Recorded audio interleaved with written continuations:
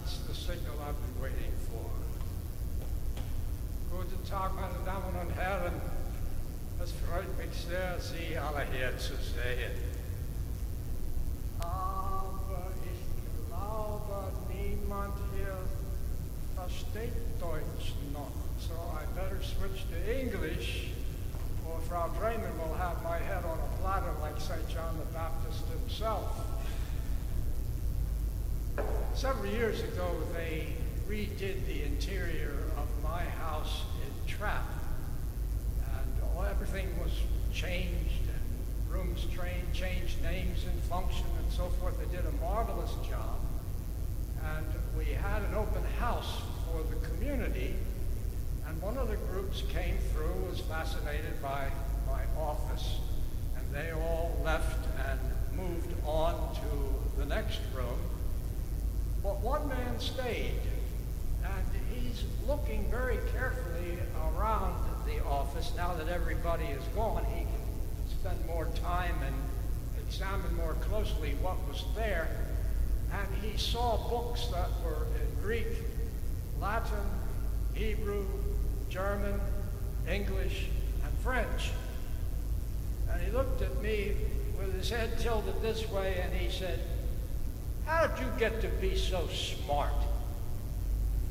And I said to him, Well, the Lord gave me a brain that worked, and I tried to use it in His service all my life long. I also had the great good fortune to attend Göttingen University, where I studied theology.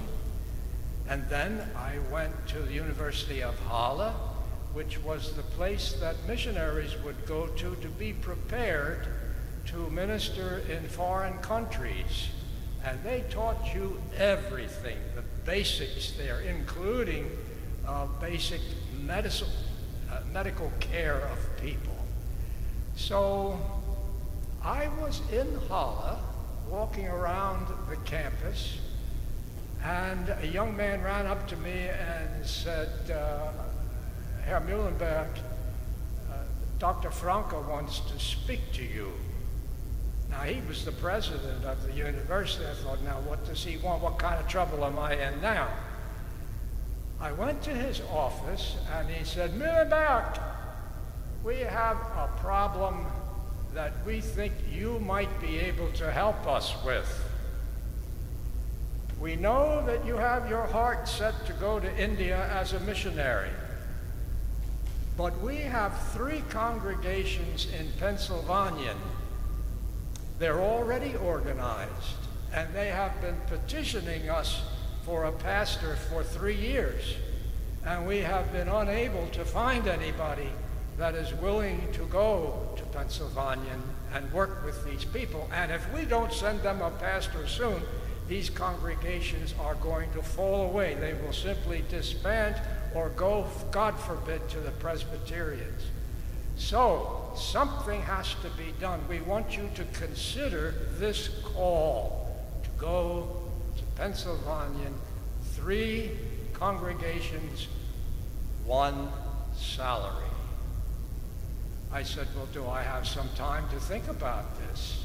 Have some time to pray about this? Sure, take all the time you want, he said.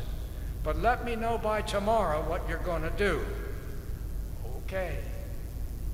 I thought about it. And then I thought, well, you know, I have to learn English either way. If I go to India, I have to learn English. If I go to Pennsylvania, which is a British territory, I have to learn English there too. I went back the next day. I said, I'll give it a try. Good, said Francke. We will take care of you. You go to London next, and Ziegenhagen will arrange your passage to North America. He will get you a tutor and teach you English. He'll take care of all the necessities, all the financial uh, details he will handle. The next thing I knew, I was on board a ship headed towards North America. That was quite a trial cross the Atlantic in those days took three months. The food was terrible. The water became putrid. you had to listen to the sailors cursing. And I went up and complained about their language, especially since there were women and children on board. They should not use such rough language in front of them. But they paid me no attention whatsoever. What do you do when the water gets bad and you can't drink it by itself? We had to make coffee out of it to get it down and keep it down. What do you do when you run out of that and you have no water left? You spread blankets out on the decks, and when it rains, you wring the blankets out into barrels and you drink that. And what happens when you run out of that? You die.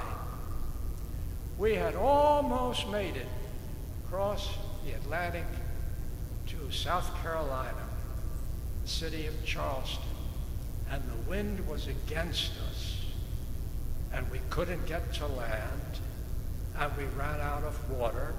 And any of you that have been to Charleston know it is a hot, humid place, and you're drinking constantly because of the climate.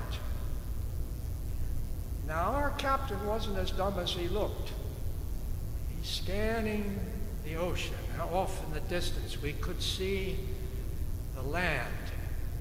And there was a British man of war. What was a British man of war doing there off the coast of Carolina? It was protecting the coast from raids by galleons that were patrolling off the coast of Florida doing the same thing. That was a Spanish territory at that time. So they were constantly guarding the coast from each other. The man of war demanded that we identify ourselves, and the captain declined to do so. And right away, the man of war headed toward us, and finally got to us and declared again, Who are you? What nation are you from? And we ran up the English colors. Why didn't you tell us sooner? Because we needed you to get here as quickly as possible we are out of water, and if we don't get water on board here immediately, people will begin to die. Brought the water on, the wind changed, and into the port of Charleston we went. I did not like Charleston. Charleston to me was a very unpleasant place because of the issue of slavery. There were, it was told to me later, 15 black slaves to every white man. And we were not allowed to evangelize those slaves. So those poor people didn't even have the comfort of the gospel to support them in their position of servitude. Well, the plan was to take a sloop, which were the little ships that ran up and down the coast. There were no highways at that time, of course. And I was distressed to find out that the last one before the winter break was leaving in two or three days. Now, the last thing I wanted to do was get on board another ship, having been on one for three months. This was very, very difficult decision for me to make. But if I did not get on that sloop, then I would have to wait in Charleston for three months and I didn't want to do that. So I made arrangements to get on board the sloop, and it was three weeks, three months to get across the Atlantic, three weeks to get to Charleston, from Charleston to Philadelphia. I endured it. It was nothing but seasickness, up and down, lousy food, lousy water again, until I got to Philadelphia. Well, finally, I reached the promised land, so to speak.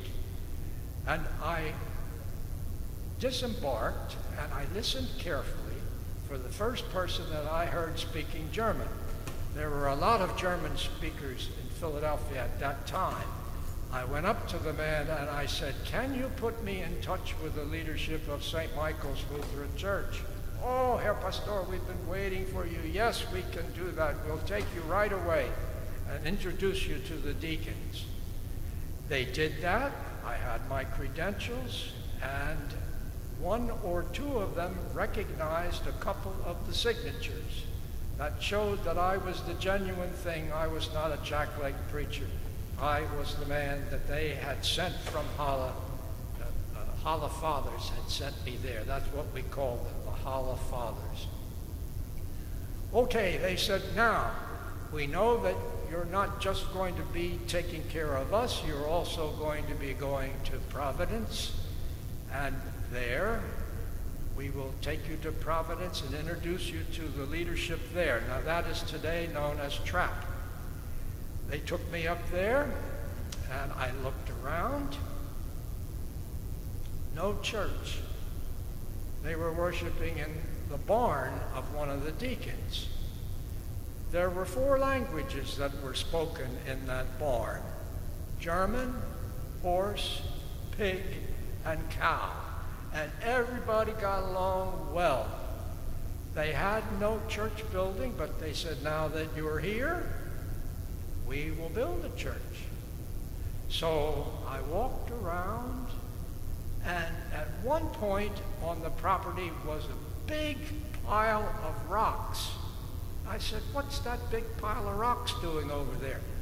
That is the beginning of the building materials for our new church, which now you will be responsible for. To engage an architect. You know what a church should look like.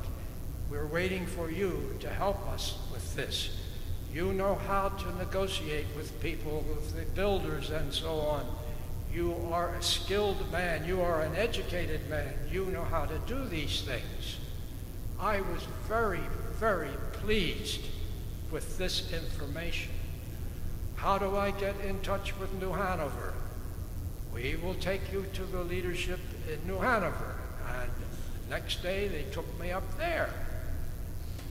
They had a church, if you want to call it that.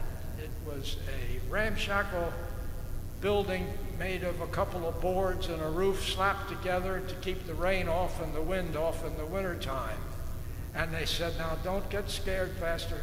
When you see this building, we know this is not a satisfactory church. But we will build a new church. When you get here and can supervise all of the workers and all the plans that need to be made, we will build a new church. I said to them at the time, you know, this old church is not so bad. We don't need to make this our first priority our first priority should be to build a schoolhouse. We need to think of the education of our children. There was no public school system, of course. Any education that the children got was from parish schools. Let us build a schoolhouse first, preferably large enough that could accommodate also a schoolmaster, have a, a place for him to live, and then a schoolroom where the children would be taught. That's what we did there. But of course, Philadelphia was the biggest church, and we had to build a church there. We even had to buy ground there. And the people were always getting in one another's hair. I did a lot of refereeing in Philadelphia. But uh, it grew very quickly, way beyond my control. I, I could not tend to so many people by myself in Philadelphia. So I petitioned the Halle Fathers for another pastor to come and help me. And ultimately, they sent me a man by the name of Handschuh, Pastor Handschuh, which means glove. And he did not look like a well man to me. So I said, Handschuh, let's be realistic here. You are not a countryman. You don't you don't look to me like you would enjoy riding horseback from place to place, from church to church. How about I take the two country churches and you take the city church? Okay, he said, I think that would be great. What did I do? In the beginning, I had a room at each congregation. One of the parishioners would let me live in a room there all right, that's okay for a week or two, but that gets old mighty fast. Children running around, I have business to take care of, and counseling to do, and sermons to write. I can't do that with kids are screaming and carrying on, running around the house. No, I have to have a place of my own. I need to have a home base. I chose Providence to be the place where this home would be built. Okay, they started working on this parsonage. And I could see it going up before my eyes. And I thought to myself, now I have a home, but who's going to take care of it? I'll hire an old woman to take care of the house, clean the house, cook, and so on. Oh, wait a minute. Wait a minute, Heinrich. Not too fast now. You know old women, they get sick. What if this woman gets sick shortly after you hire her? You wouldn't be able to put her out on the street. You cannot fire a sick woman in a pietistic parish. They would not put up with this. Well, then I'll hire a young woman to come in and keep house. Young women don't get sick. And they can clean the house and, and cook the food and so forth. Oh, oh, oh, oh, oh, oh, oh, wait a minute, Henry. No, that is not a good idea. You just said to yourself that these people are pietists. They would never permit you to live in the same house with a young woman without being married to her. I had no intention of marrying. How am I going to get married with three congregations to take care of? Yeah, I guess I'll have to figure it out. So I put out the word that I was open to the idea of marriage. And the dinner invitations came flowing in.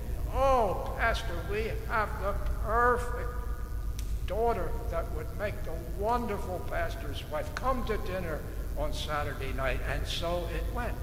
And they all were wonderful young women, beautiful one, women who were skilled and could do anything. How does one make a choice? I had no experience in socializing with women. I didn't know what to do.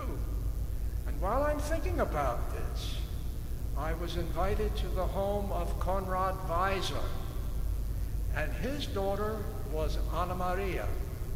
She was there. I saw her. I think I was about 10, 11 years older than she was. I liked that.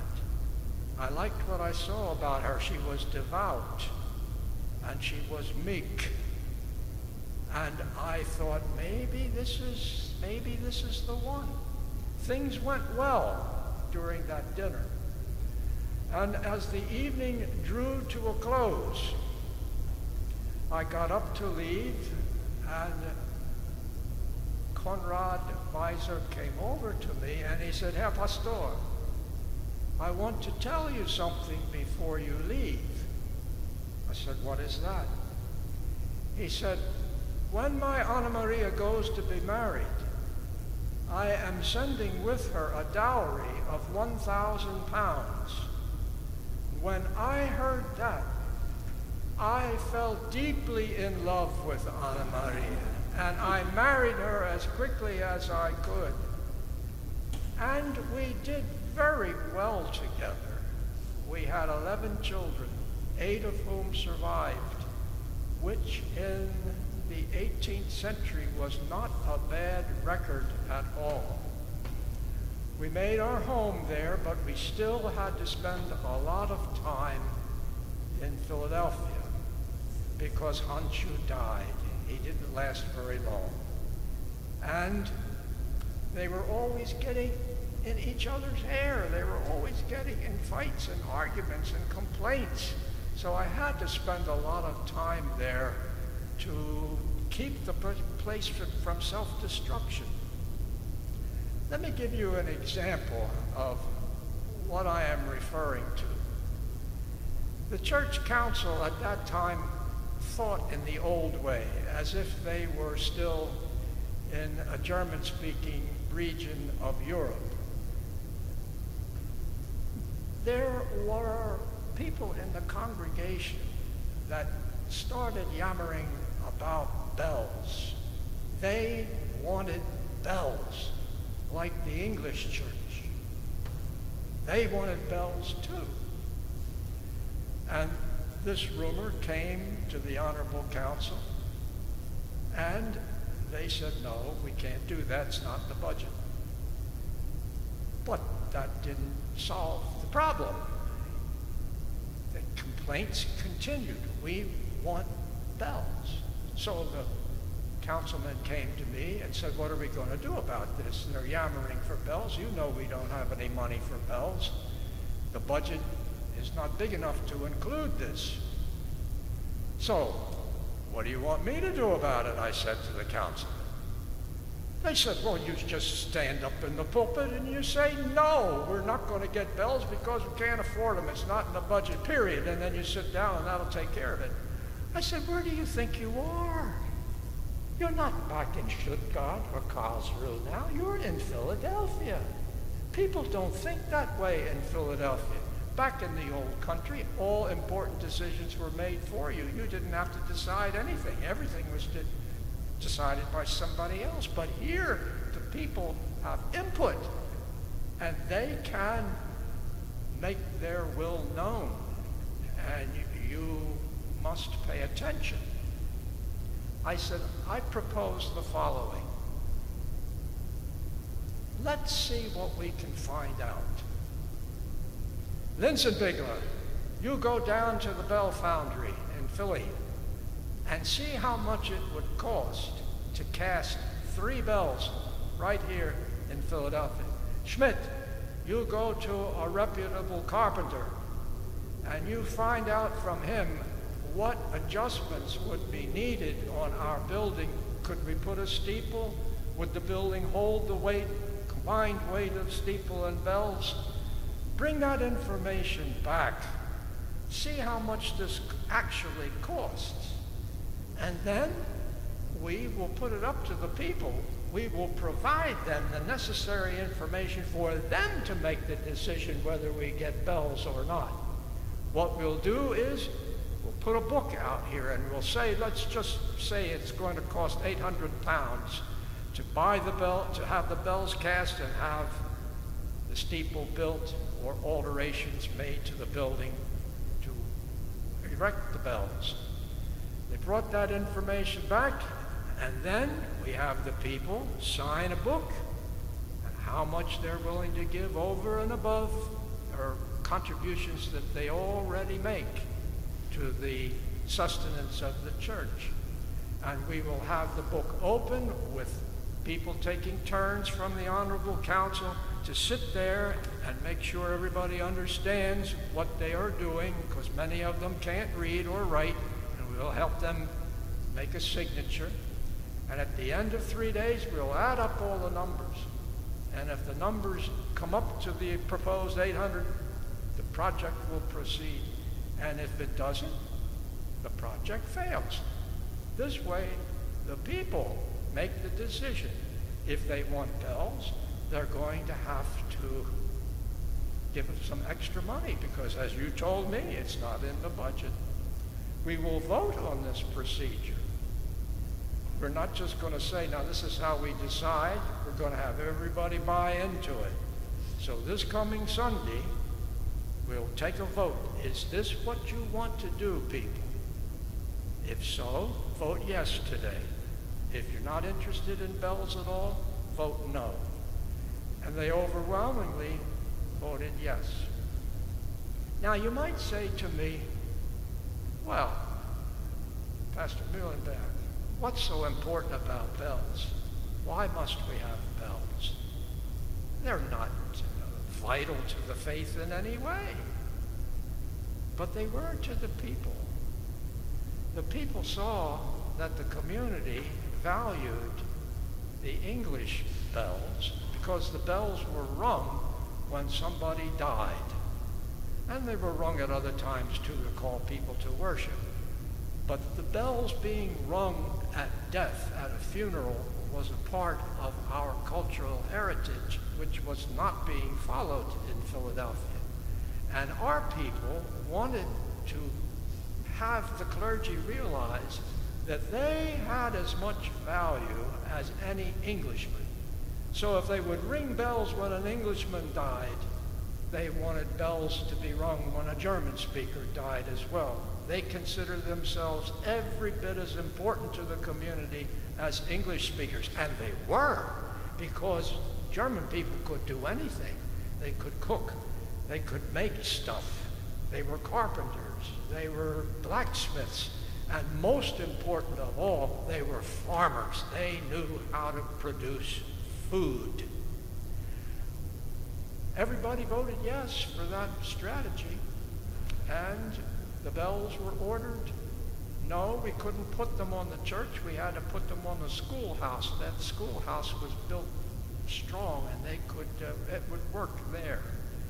But it didn't, uh, the church was, was not strong enough to bear the weight of three bells. And we got our bells.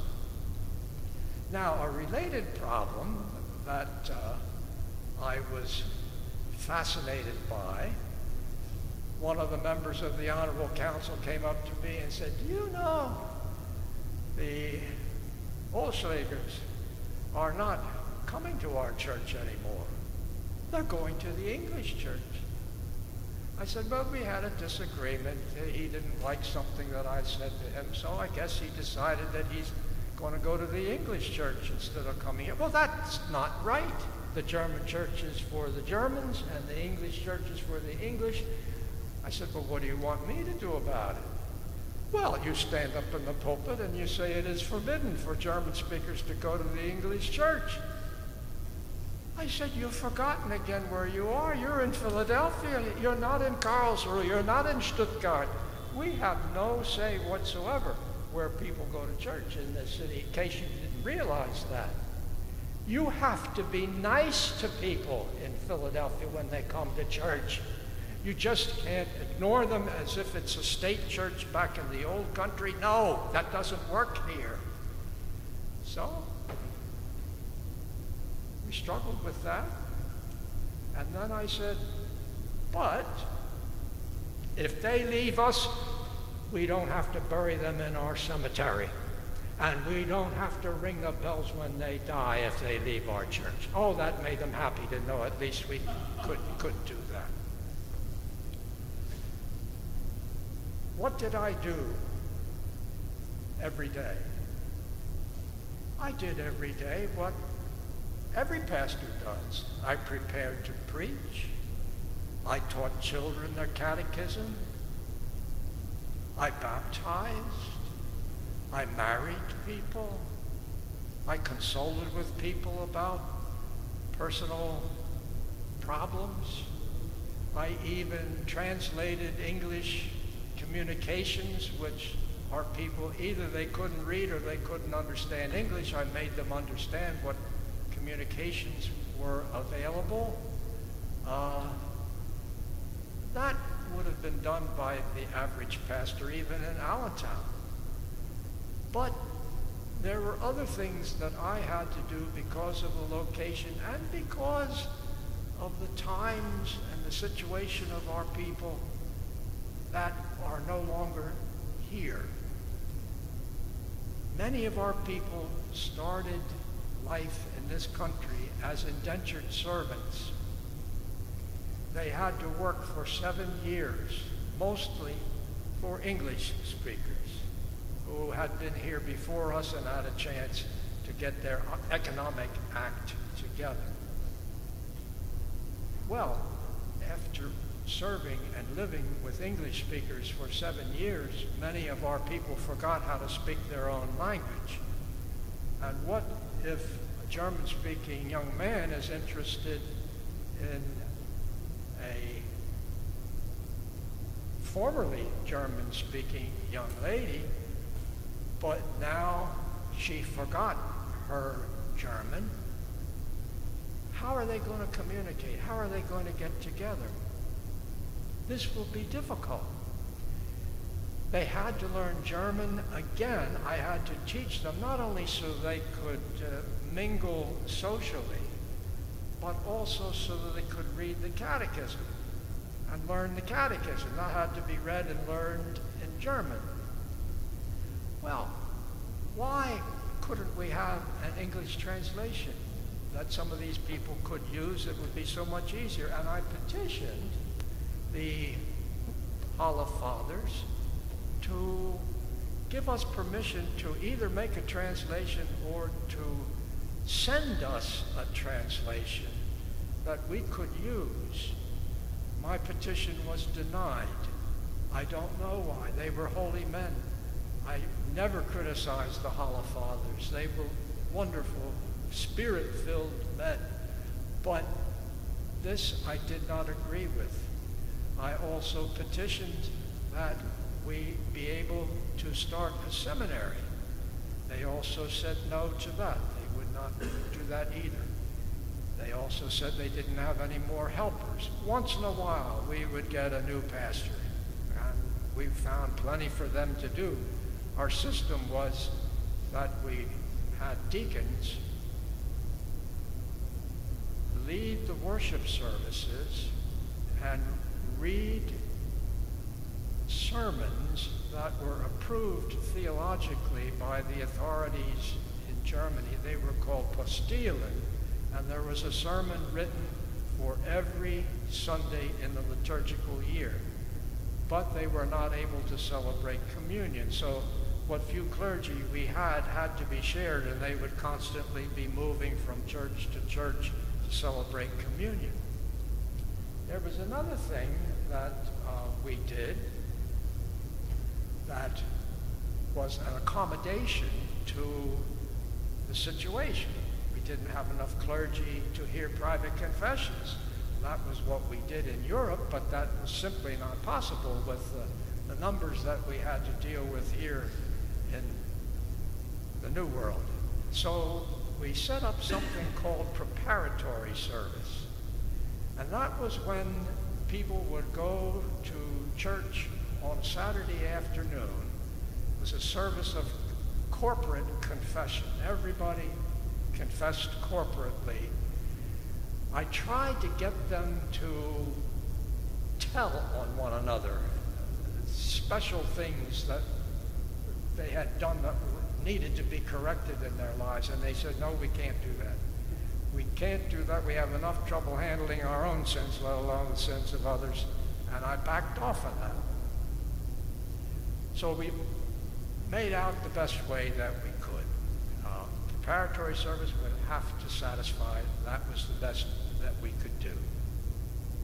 You might be interested in hearing about the language problem because in Pennsylvania we had a lot of fights between congregations and splits off of congregations because of people either wanting to remain all German speaking in the congregation, all their business, all the teaching, all the worship, all the singing, or um, some of them split off because they wanted English right away and they couldn't wait for us to change.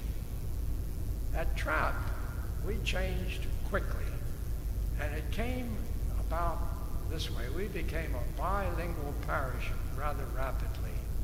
There was no bridge over the Perkiomen at that time.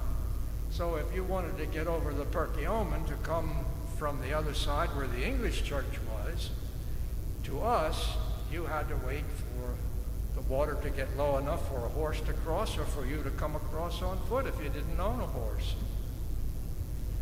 Well, one day the Perkiomen was high, and our service began, and I happened to notice that there were a couple of English speakers in our service attending that day. And when the service was over, I went up to them and said, now I'm, I'm curious. You're welcome here, of course. But why would you come to a service where you didn't understand anything that was going on because you don't speak German? And they said, well, we could not get to our own church today because we couldn't get across the river. So we decided we would come here, that hearing a German service was better than nothing. And we enjoyed ourselves even though we didn't understand anything. Still, we enjoyed it. We were in church. Okay, I said, that makes good sense to me. You come here anytime you want when the river is high and you can't get to your own church. Well, it wasn't too long. The river was down at a level where they could have gone across to the English church if they wanted to go there. But they came to us. Did the same thing after the service. I said, now, I'm a little curious. You know you're always welcome here. But the river was low enough that you could get to your own church today if you wanted to.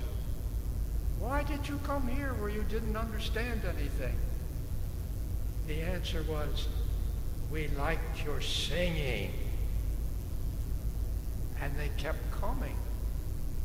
And one day, one of them had the nerve to come up to me and say, Pastor, would it be possible once in a while to sing an English hymn? I said, I never thought of that. That's a good idea.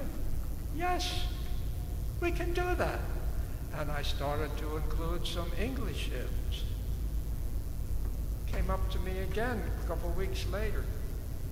Pastor, you know, even though we don't understand German, we do love the Word of God. Would it be possible to have an English message, just a little English message squeezed in here or there somewhere? I said, I never thought of that. That's a wonderful idea. Yes, we can do that. And that's how we ended up with a German service in the morning and an English service in the afternoon. More of our congregation should have followed our example at Augustus, and they wouldn't have had these fights over whether to speak German or speak English in the worship life of the church.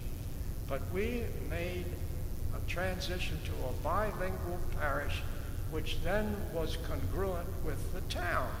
The town was a bilingual town. You spoke German, or you spoke English, or you spoke lousy German, you spoke lousy English, to whatever business you needed, everybody was used to getting along somehow or other in somebody else's language. And the town prospered. Now, every now and then something happens that is not of major significance, but is of interest in how people operate and what you see happening around you. We had a rule in our congregation at Augustus that you did not receive communion until you were confirmed. And you were confirmed when you learned the catechism and approximately 14, 15 years old, something like that.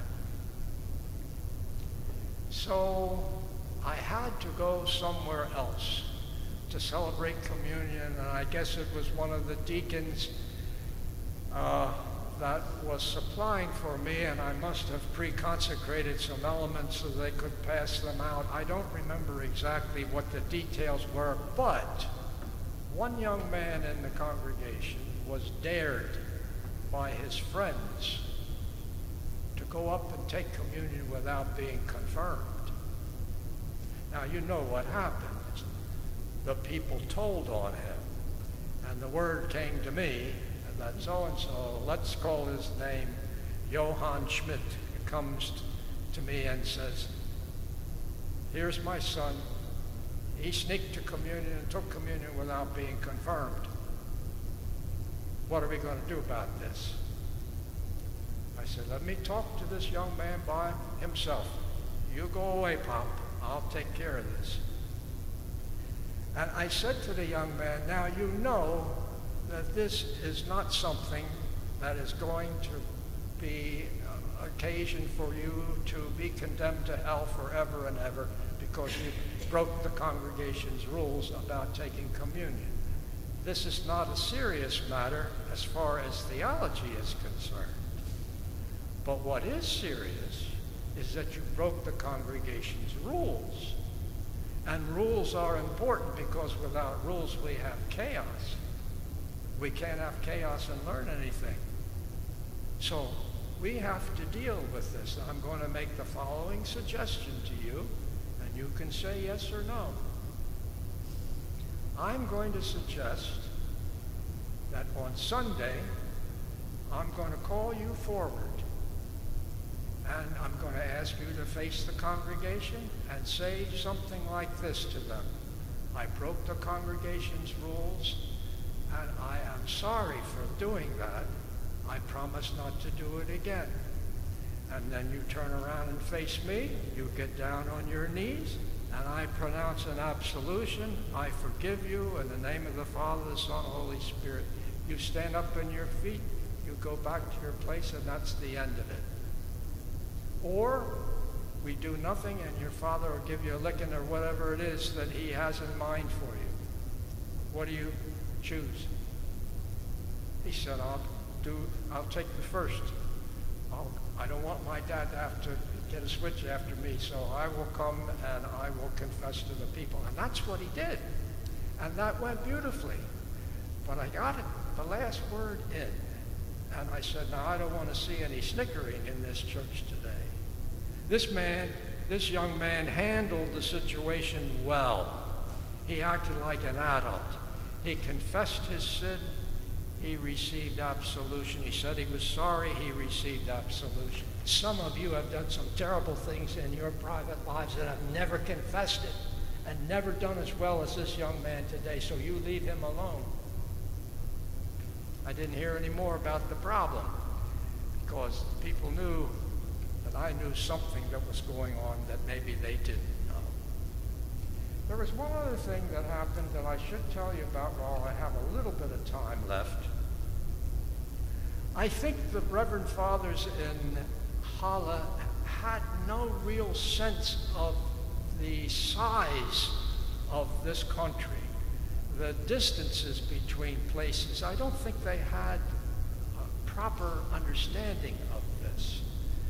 Um, because I got a request from them to go down to Georgia and settle a fight between two pastors at Ebenezer Church in Georgia. Hebron Church, I think Hebron Church and Ebenezer is the name of the town. And of course, you could not say no to the Halle Fathers. I mean, they were holy men. You, you had to do whatever they asked of you, even if it was something that was nearly impossible. And I said to Mama, I, I don't know how to do this. This is going to be a, a terrible task. I'll be away from you for, and the children for. She said, no, you won't be away from me because I'm going with you. I said, oh, Mama, you don't want to go on, on a trip like this on a sloop. It's terrible. You'll be seasick the whole way down there, and uh, it'll, it'll just be an awful experience for you. No, she said, I'm going with you. Watch my lips. I am going with you. We'll get the neighbors to take care of the kids. All right. I don't, when she got into that mode, I knew better than to argue with her. And it was a rough trip down there, but boy, oh boy, oh boy, was I glad that she went with me because this was a messed up place. These people were at each other's throats, and it was a typical situation of a young know-it-all straight from Germany criticizing everything that the old guy did. And they just were dividing the congregation. It was a dreadful situation. And he had made some mistakes. The old guy had made some mistakes. And the young guy used the mistakes to lord it over the old guy. This was a unworkable situation. So I finally got them, I browbeat them both to forgive one another and to promise to cooperate and pray for one another and work together, and left. There was no more that I could do. I don't know, they must have solved some of the problems because the congregation still exists. So that says something worked okay. I want to say one or two words about the Revolutionary War, and then I want to say uh, a word or two about post-Revolutionary War, and then we'll be done. I bought the house in Trappe, a second house in Trappe. And this was after we sold the parsonage and moved into Philly and worked into Philadelphia for quite a while. And then there were words of impending war, and I knew that they would be coming after me if the British ever occupied Philadelphia. I was the unofficial leader of the German speakers in southeastern Pennsylvania, and I had to get my family out of Philadelphia in order to keep them safe from a British occupation. If they put me and Mama on a prison ship, we might not survive that. So we bought the place in Trappe, and you can go see the Muhlenberg House in Trappe. That was where I spent my last years. At that time, I wasn't quite sure which side to support, either the American side or the British side. My sons were already on the American side, and they tried to uh, convince me, and uh, we were getting nowhere fast. And then something happened. Winter at Valley Forge. I watched those young men get sick. Some of them even die of pneumonia and uh, the other plagues that would come through the town from time to time. But they kept on marching. They were willing to die in their places. That's the kind of devotion you need if you're going to win a war. That was the one thing that almost made me change my mind. And then when the second thing happened, I came down on the American side. We heard this loud sound in Trappe. We had no idea what it was. Nobody had heard anything like that before. And one or two of the family members that came out and would visit us weekly said, the Americans blew up a British munitions ship in the middle of the Delaware. And that's what you heard. Oh my goodness, if they're able to do that, they can win this war for sure. And I came down on the American side. I really didn't care which side won, to be honest with you. What I cared about was that my people would be on the winning side. That was what I struggled with. And now I thought for sure the Americans would win. Let's all get on the winning side right away. And then the last thing maybe that I want to say to you today is after the war was won, we were faced with another interesting challenge A group of people came to me and said, we want you to support our project. We want to lobby and struggle for making the German language a legal language, an official language in Pennsylvania, so that all the documents and all the publications of the government would have to be printed in two languages, English and German. We want you to support this. I thought about that very carefully. And ultimately, I came down on the negative side. I said, no, I am not going to support this. This would make our English neighbors uncomfortable, and we should not be about trying to replicate a little German village or a German city in this country we got a lot of things wrong in Europe. Now is a chance for us to get things right. No, we should learn English as quickly as possible. And we should view each other not as English speakers and as German speakers, but we should view each other as Pennsylvanians, as Americans. We are all one people now. And I should be able to live next door to you, whether you speak English or German, or whether you're Catholic or Lutheran or a Quaker. We should be able to live amongst each other without any more difficulties. Always supporting one another. We're taking on a new identity now. We have a chance in this country to get it right. Let's take that chance and go with it. And that's what we did. And I think I'll end it there. If there are any questions, I would be happy to uh, attempt to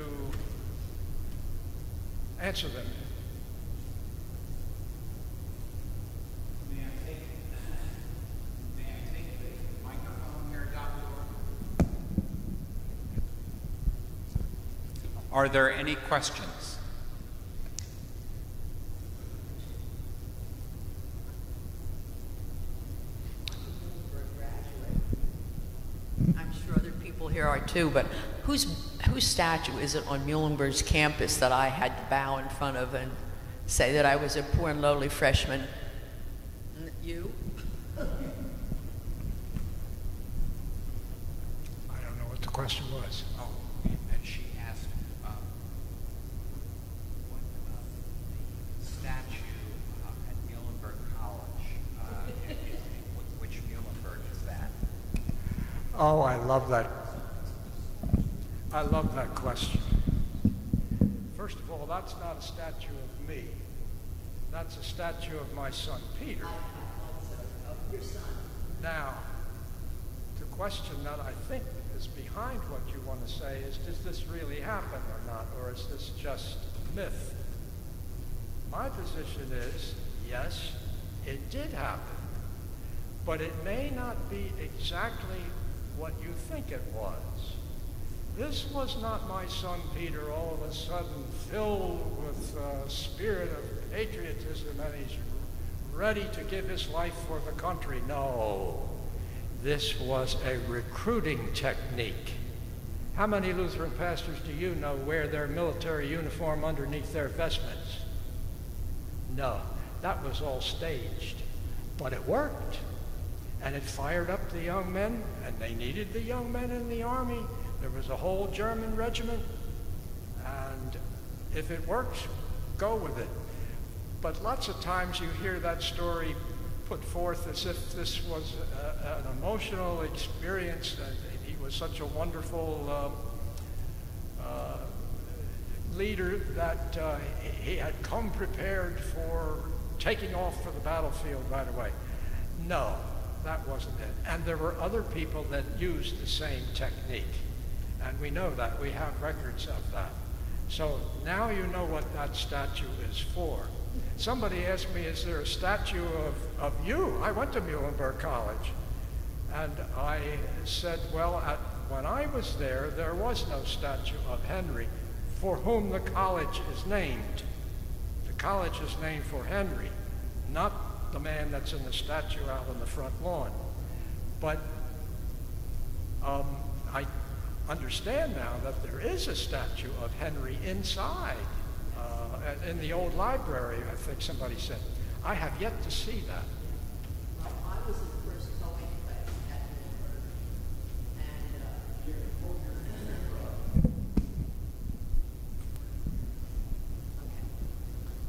I was in the first co-ed class at Muhlenberg. Up to my time, they were just men, and so I was the in the very first class where they allowed women to come for full four years, and uh, we had freshmen. Uh, you would call it hazing regulations, is what they called it at the time.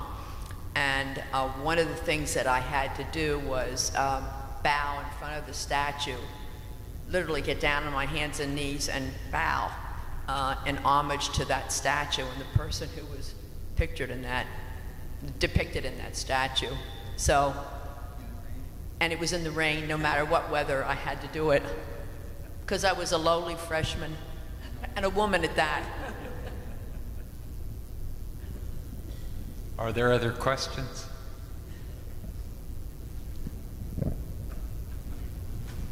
Tom, I know that you're uh, interested in history and dove into Henry Melchior Muhlenberg's diaries. What motivated you to create a one man play on his life? I don't know what that was either.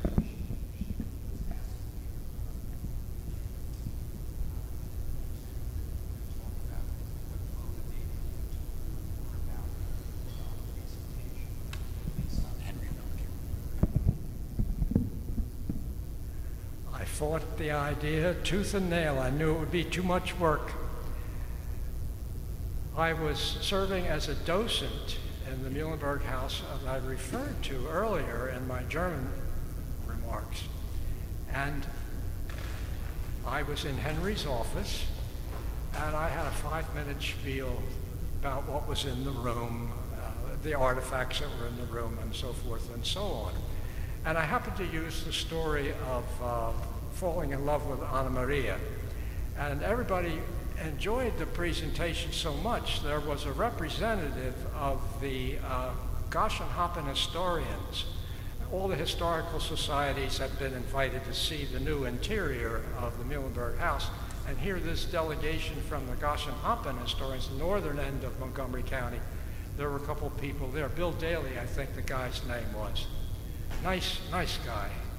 He says to me after the people left the room and he and I were left alone, he said, um, you know, I like that presentation that you gave. I like it so much, I want you to uh, turn it into an hour presentation uh, and do a program for us up in Green Lane at the, um, the Redmond's Hall there in Green Lane. I said, no, I'm not going to do that. You people are real historians up there. I'm just playing games here. I happened to read the three volumes of the uh, Muhlenberg journals, and I enjoyed that very much. But uh, I'm not going to memorize that uh, an hour's worth of material just for you people up there. No, I'm not going to do it. And he would not take no for an answer. That man hung and cl- clung to me like gorilla glue. Uh, and he wouldn't leave me until I said yes.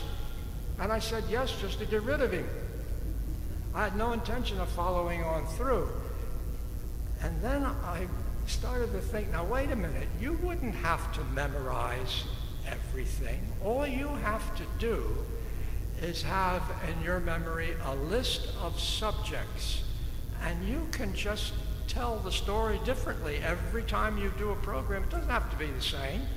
I left out a lot of stuff today. I could go on for another half an hour, but I'm not going to do that because I see your eyes even glazing over right now, so I, I don't want to do that.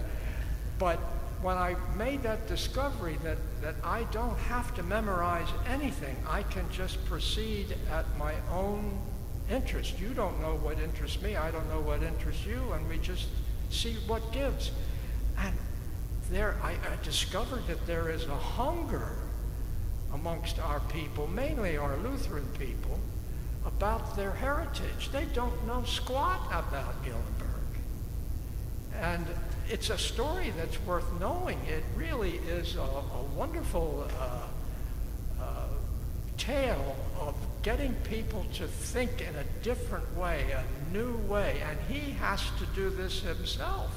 I mean, he was a very authoritarian figure when he arrived here. And he learned how to work with people and get people to uh, work together. And it, wasn't so one general and everybody else are soldiers. And we had groups of people working together. That, that was a, a fascinating thing for me. Every Lutheran pastor has to learn how to do that one way or another if you're going to be uh, a successful pastor in, in any setting whatsoever. So I just, I just went with the flow.